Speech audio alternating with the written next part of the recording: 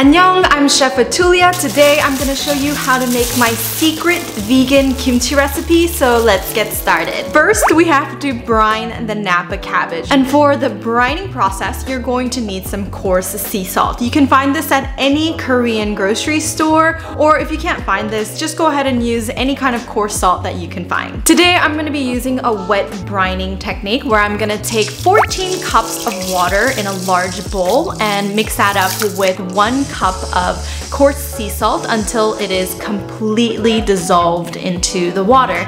I'm also going to set aside half a cup of coarse sea salt on the side for sprinkling onto thicker parts of the Napa cabbage as well as sprinkling on top. So here I have a five pound head of Napa cabbage. I'm gonna be making mak kimchi today. And mak kimchi means kimchi that's been cut into bite-sized pieces. There's also pogi kimchi. Pogi kimchi is kimchi that's been fermented in its whole head. I'll be making a pogi kimchi recipe video once we hit Napa cabbage season, but for now we'll be making mak kimchi. It's just as delicious. Take your Napa cabbage and go ahead and discard any leaves that are not looking very fresh. Cut your Napa cabbage into half lengthwise.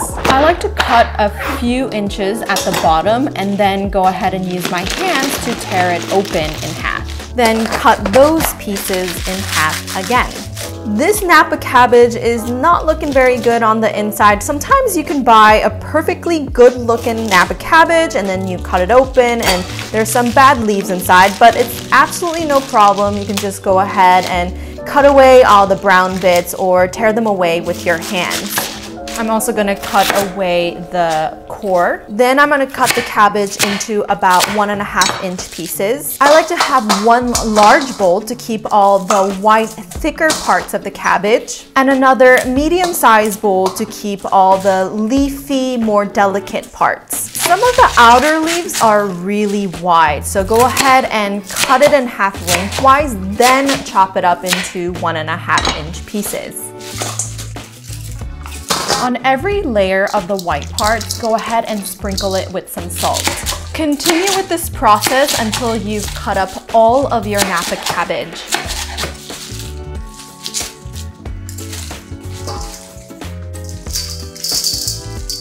Once all your cabbage has been cut up, go ahead and take the green leafy parts and layer it on top.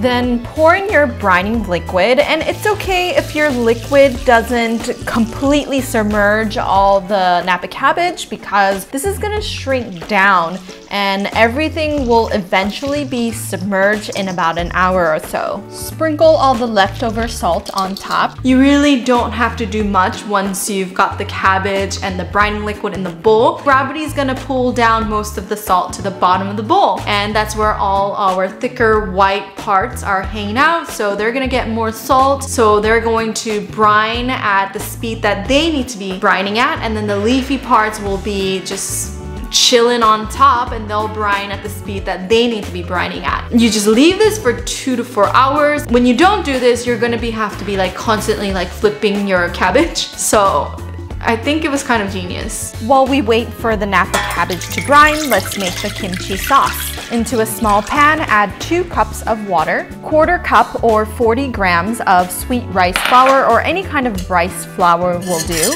Whisk until well incorporated. Then turn up the heat to medium. And you're going to cook this until the liquid turns into a thick rice paste. This is gonna happen very quickly, so keep your eye on it and whisk vigorously the entire time.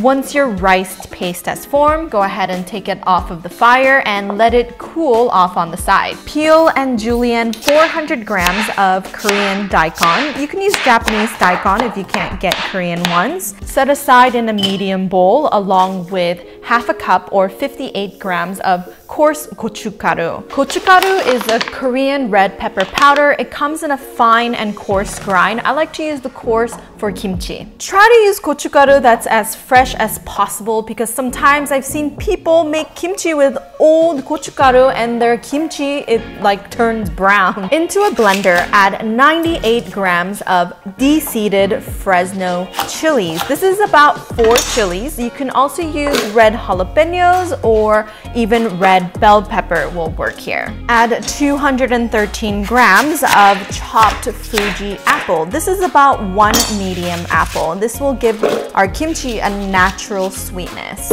Add 44 grams of roughly chopped ginger. This is about a thumb-sized piece of ginger. Add two tablespoons of salt and one tablespoon of sugar. This is optional and go ahead and skip it if your Fuji apple was really sweet. Then when your rice paste has cooled enough, go ahead and add that into the blender as well. Blend this on high until completely smooth. Then pour this over your daikon and gochugaru and mix thoroughly. Then cover this up with saran wrap and our kimchi sauce is done. Now we just gotta wait for our Napa cabbage to finish brining. Koreans like to add like shrimp paste, fish sauce, onions, garlic. They think that all these things add flavor to their kimchi when flavor for kimchi really comes from the healthy bacteria plus time. It's been about three hours. Let's check our Napa cabbage. You'll know once it's done brining when you take one of the thicker white parts and it's become a little bit pliable, but yet still maintaining a little bit of its crunch. This is looking really good. Let's go ahead and rinse it out. You want to rinse and repeat about two to three times to make sure to clean off the cabbage as well as rinse off any excess salt. Once you're finished cleaning off the cabbage, go ahead and drain off any any excess water and add your Napa cabbage into a large bowl. Then pour in your kimchi sauce. Mix thoroughly using your hands and I highly recommend wearing some gloves for this. Once all the Napa cabbage has been thoroughly coated in sauce, now it's time to put our kimchi into our fermentation vessel. I'm using my special kimchi fermentation container. And you can find this kimchi fermentation container online or you can find it at most local Korean grocery stores. I think kimchi just ferments better in a large airtight container like this. But if you don't have this, you can use three quart size mason jars that are the white wide mouth and you can pack down your kimchi in that. In whatever container you use, you don't want to fill it up to the max because the kimchi will expand as it creates gas bubbles and your container is gonna explode. So make sure to leave a few inches of room at the top. Kimchi is a form of anaerobic fermentation,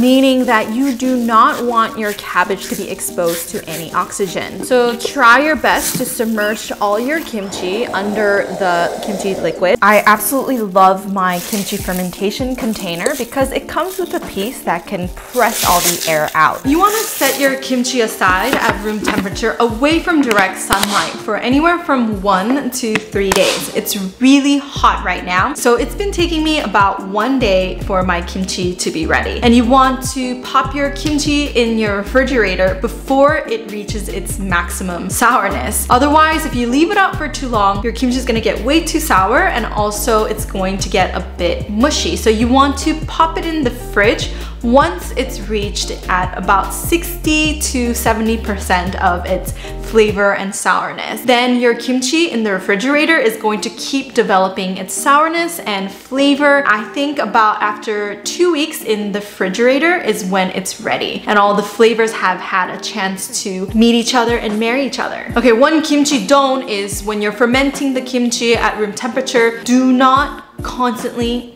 peek at it and open that jar or container because this is anaerobic fermentation. Constantly opening it and introducing oxygen into the good bacteria environment, they're not gonna be able to do their job properly. So if you keep opening it and closing it, opening and closing it and trying the kimchi here and there like throughout the day when you're fermenting it multiple times a day, then your kimchi is not gonna taste very good. So now time for the taste test for my kimchi. I'm actually gonna eat dinner right now because I'm starving. This is my barley bibimbap, my favorite meal right now. If you wanna see a recipe for this, go ahead and comment that in the comment section below and make sure to subscribe and hit that notification bell. Here's the kimchi. This I made probably a week and a half ago. Moment of truth. Mm, mm, mm, mm, I would say this is like the perfect amount of sourness for me. And the kimchi, because of the brining technique and because I've fermented it just to like the right timing, it's maintained its crunch. 음. 음. 오, 너무 맛있어. 완전 시원해. It tastes so refreshing. And the flavor is so clean. It's the best kimchi ever. Mmm. Mm. Gonna go so good with my bibimbap. I made this really, really yummy sauce. It's so good. I think it's the best bibimbap sauce ever. And you just like mix this up with the kimchi and it's so good. Mmm. Mmm, 맛있어. 음. 김치랑 먹어봐야지. 음.